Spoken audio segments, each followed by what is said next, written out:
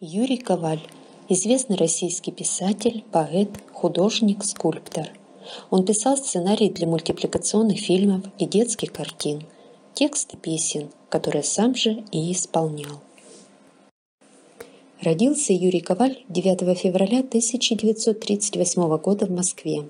Его отец, Иосиф Коваль, сотрудник милиции, в годы Великой Отечественной войны трудился в московском отделе по борьбе с бандитизмом – Мама писателя, Ольга Колыбина, родом из села Пензенской губернии. Мама имела медицинское образование, работала врачом, и практически все свое довоенное детство Юра провел у матери в больнице. Во время войны семью Юрия Коваля эвакуировали в Саранск. Маму назначили республиканским министром здравоохранения. На ее плечи была возложена очень ответственная миссия – Организация работы тыловых госпиталей.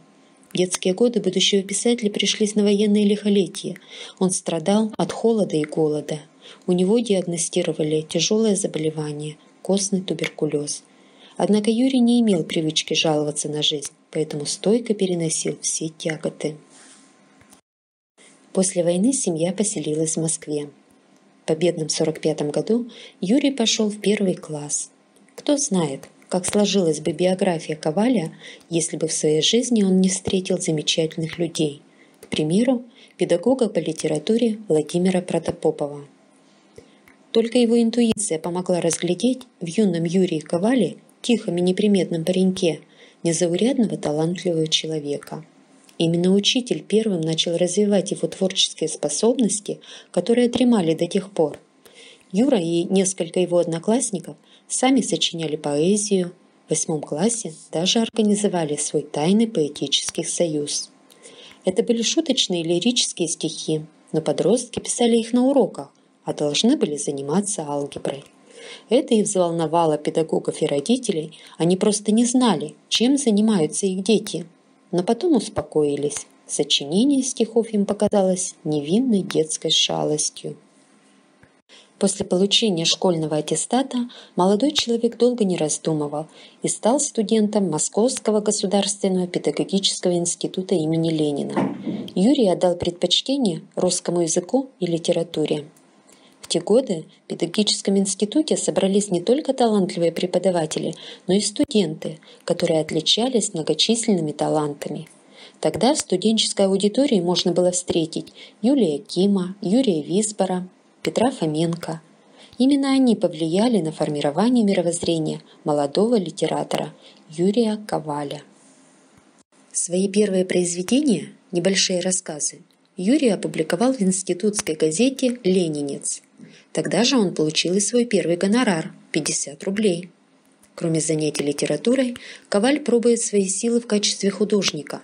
Он ходит на занятия к скульпторам Вадиму Сидуру, Владимиру Лемпорту, Николаю Силису и живо интересуется живописью, рисунком, фреской и мозаикой.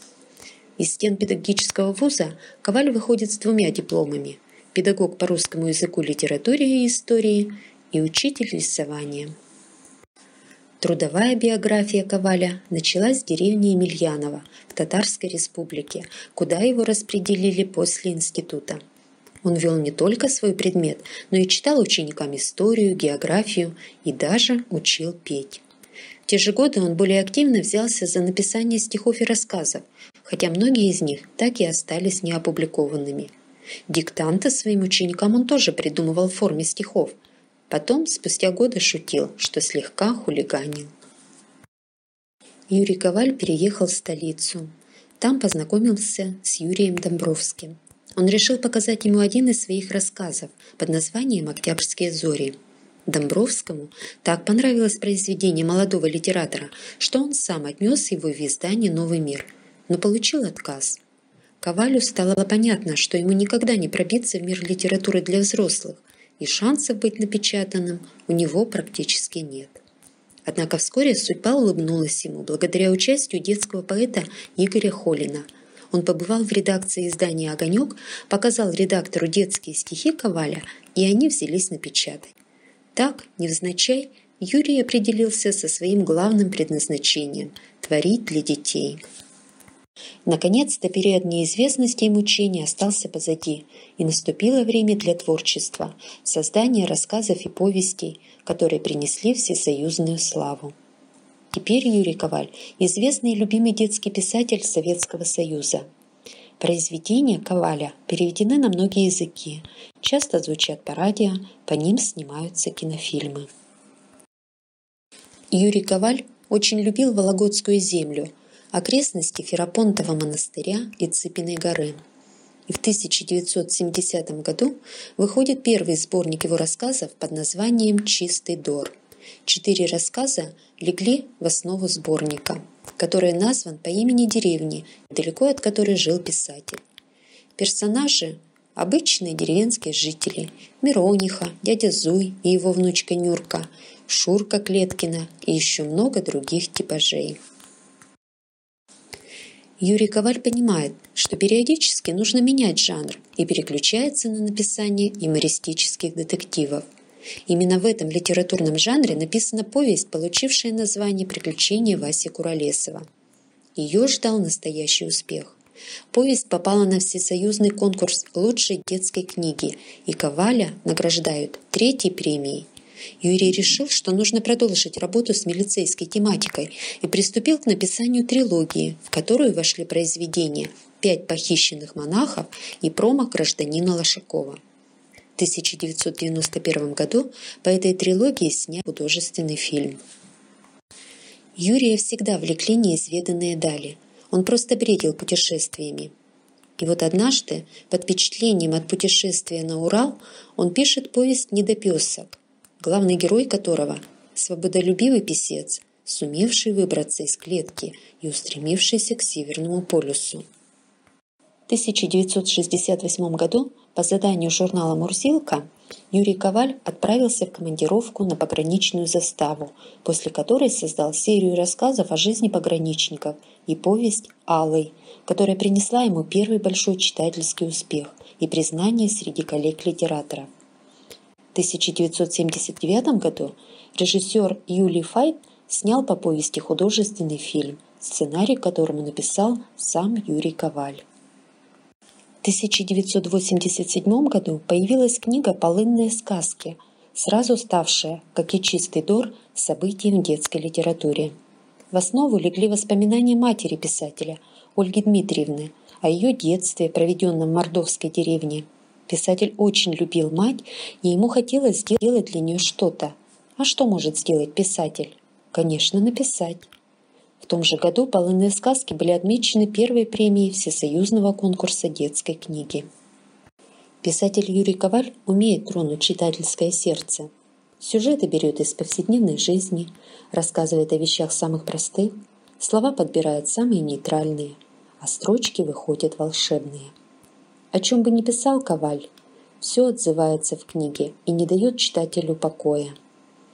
Произведение «Картофельная собака» начинается так – Дядька мой, Аким Ильич Колыбин, работал сторожем картофельного склада на станции Томилина под Москвой. По своей картофельной должности держал он много собак. Впрочем, они сами приставали к нему где-нибудь на рынке или у киоска воды. А что было дальше, узнаете, прочитав это произведение. Советский детский поэт Яков Аким писал, «Мне кажется, у Юрия Коваля написавшего книгу «Кепка с карасями», есть свой волшебный фонарь, яркий и многоцветный. В эту книгу включены лучшие рассказы для детей, полные лиризма и мягкого юмора. Писатель не старается рассмешить своего читателя во что бы то ни стало. Он доволен, когда читатель улыбается. А улыбка сближает людей. Она похожа на теплый лучик, протянувшийся от человека к человеку. В рассказе «Кепка с карасями» Бескорыстный дядя Зуй ведет гостя в соседнюю деревню вовсе не за даровыми карасями. Просто не может дядя Зуй пропустить такой случай познакомить нового своего друга и еще с одним тоже хорошим человеком. Создателем сказов и знатоком русского севера Борисом Шергиным Юрий Коваль познакомился в конце 60-х годов, незадолго до смерти сказителя, когда пришел брать у него интервью по заданию журнала «Вопросы литературы». Несмотря на то, что интервью не состоялось, Встреча с полуслепым старцем потрясла писателя. Они подружились, и с тех пор Коваль считал Шергина своим духовным наставником и учителем. В 1972 году Борис Шергин дает Ковалю рекомендацию, и он становится членом Союза писателей Советского Союза.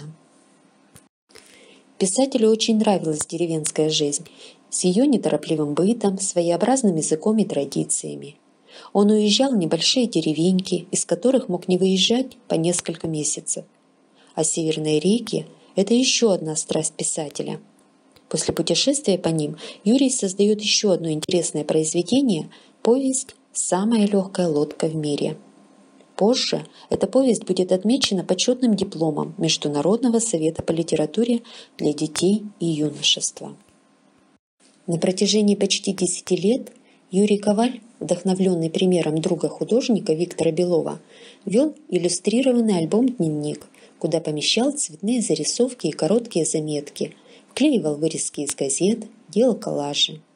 На этих необязательных листах он записывал не только канву событий, но и пришедшие литературные идеи.